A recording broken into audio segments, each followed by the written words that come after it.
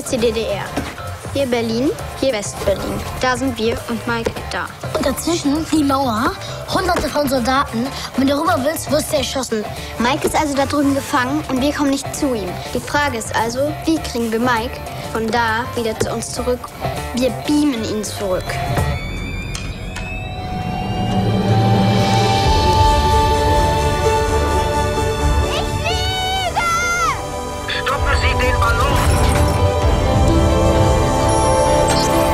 Auf Wiedersehen, mein Freund.